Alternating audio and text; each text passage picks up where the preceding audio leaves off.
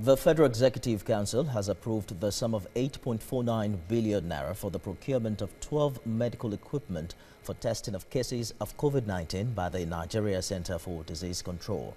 The equipment is to keep the country in a state of preparedness to contain community transmission of the virus, which has now affected more than 586 local government areas. Tai Amadou reports. The Presidential Task Force on COVID-19 had stated its commitment to expand testing centers for the virus across the country by the end of the month.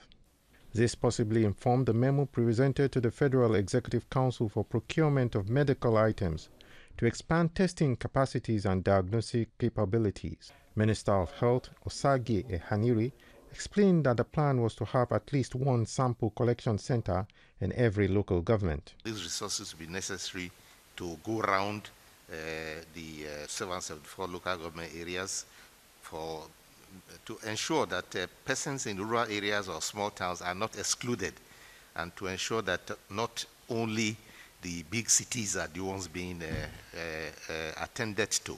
A major worry was the obvious disregard for COVID 19 safety protocols that had been observed at political campaigns in Edo State and burials, and whether there was need to hold elections already slated to hold. The ministers of information and health acknowledged risks involved and peculiar circumstances created by the pandemic.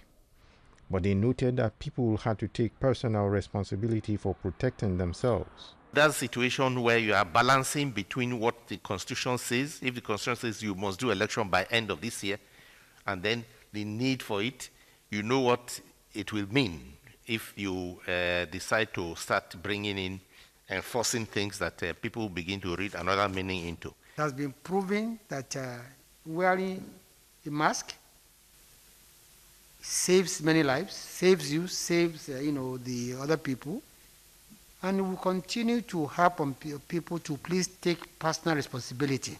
Council also approved a national gender action plan on climate change. The purpose of this policy is to mainstream gender within the climate change action plan, since women bear the main brunt of the adverse effects of climate change. This will ensure women are involved in planet action activities right from inception, design, development, implementation, monitoring, and evaluation of projects.